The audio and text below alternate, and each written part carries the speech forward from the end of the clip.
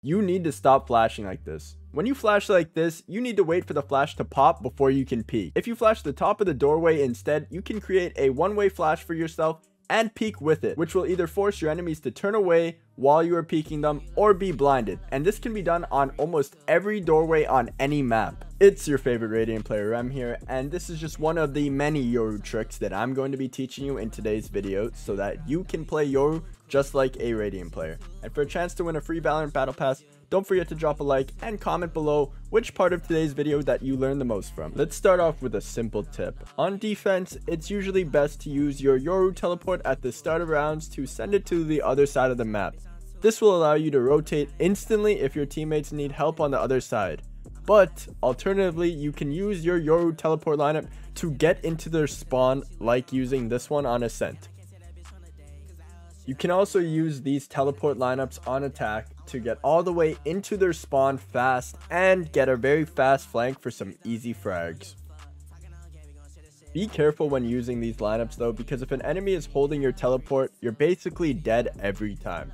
So it's good to throw a flash while teleporting, which is known as the flash teleport strat. The timing on your flash teleport is the most important part, so make sure to turn around and teleport as soon as your flash makes contact with the surface. This will make it so as soon as you teleport, the flash will pop and you won't be blinded by it, but your enemy will. If you have your alt, there's two key things that you're going to need to know. The shorty has the fastest pullout time out of any weapon in Valorant, so if you have alt, make sure to buy a shorty then flash the enemy and pop out of Yoru alt and this will get you some free kills. Now everyone has seen the fake clone strat where you pretend to be a your decoy, but honestly the best way to learn an agent is to know everything about it. And if someone is pretending to be a fake clone or not so you don't end up in a zip tie TikTok. Firstly, go to your settings and turn on tactical callouts. This will show you a chat message displaying if it's a real enemy or not. You can also use Reyna's ultimate to see which Yoru is real, and other abilities like the Fade Seize will not stop a Yoru clone and the Gekko Flash won't affect it as well, but you can use your decoy to your advantage to bait certain utility. You can use a Yoru clone to break Cypher trips for you, or to set off a Killjoy alarm bot. Using your decoy to destroy enemies' utility will always be strong because it can cause enemies to rotate, and then you can take the opposite site with your team with a Yoru teleport. It's also really strong to drop your decoy right before exiting your ultimate, as usually they will instantly shoot the decoy and you'll be able to get some free frags. Another really strong tip with the decoy is the flash fake clone strat. Place a fake clone on the floor and then throw a flash and activate your Yoru clone so they think that it's you peeking with the flash. When they shoot the clone, peek with it, and they'll all be blind for some free frags. If you're going to flash out of a smoke, don't flash like this. Instead, flash right off the floor. This one pops much faster and is much harder for them to turn from. You guys, some of my favorite Yoru teleport lineups for both sides on every map, so you can start using them to abuse your enemies. Starting off on Bind, if you stand right in front of this plank here in this corner and aim at the bottom left of this shadow from the side of this little thing on the roof, and throw your, your TP lineup. This one will come up long and go through B site around the right hand side and then go into CT and move all the way into their spawn. So you could literally get a flank in a matter of seconds. Next on Ascent, if you stand in front of this Radiant box and aim at the top of this lamppost and throw your teleport lineup, it'll go through A main and go out main all the way through site into hell. This one is going to be really strong. If you're pushing site, you can TP into hell while your team is coming through to help them out. Now for defense, if you stand in front of this box and aim at the bottom left of this box on the wall and throw your teleport, this one will go through A main and past the Radiant boxes that we just were at and this one will actually go past Gelato all the way into their spawn so you can get a really fast flank with this one. You can also come in tiles and aim right at this X on tiles and throw this one. This one will go through mid and then it'll make its way past Pizza all the way to their spawn, which is really strong. It can flank A or B really fast and it can be really effective.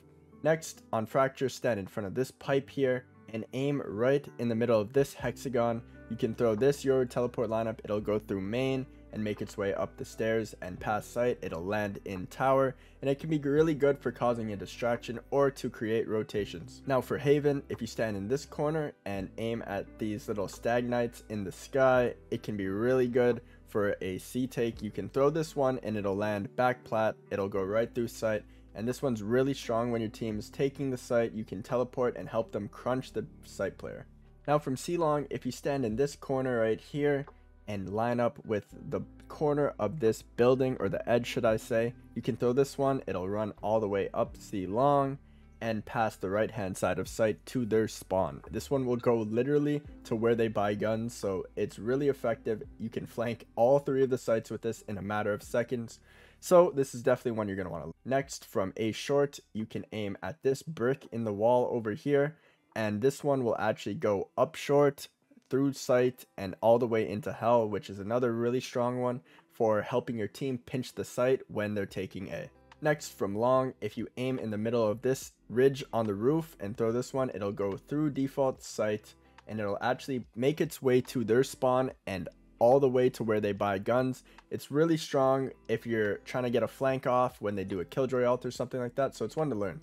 Next on split from this corner, if you aim to the right of this little triangle here and throw this one, this will go all the way up ramp through a heaven and make its way to their spawn. It can make for a really good fast flank if your team is taking A. Next, from in ropes, if you stand here and aim at this little bolt at the top of the vent store and throw your Yoru TP lineup, it'll make its way through mid, then through market, and somehow end its way behind B main, so you can use this for a really fast flank on B main if they're going B.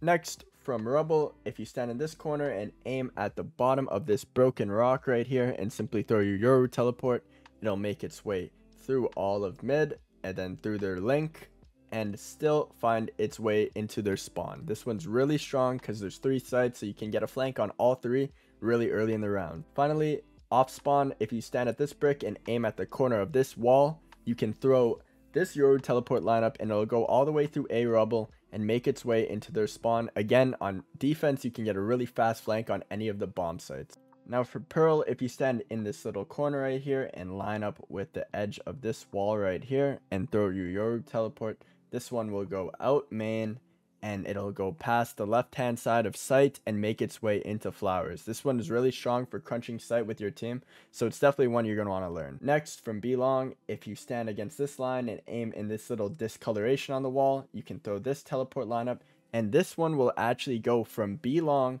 all the way through under heaven and into their spawn. This literally goes to where they buy guns. So this one can be for a really fast flank in the first seconds of the round and it's really effective. Thank you for watching today's video. If you did enjoy, don't forget to drop a like and subscribe. It really helps out the channel. We are so close to 100k. Help me get there, boys. And yeah, if you have any questions, make sure to join the Discord to ask me. And I stream live on Twitch. The link is in the description. Peace out.